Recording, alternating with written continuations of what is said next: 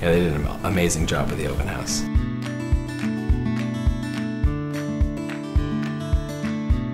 Uh, we went to a lot of open houses as buyers and seeing what they did to sell for us, uh, it was a nine day difference. Yeah, I think the team element is really the big takeaway. As a buyer or seller, you have a really good ally.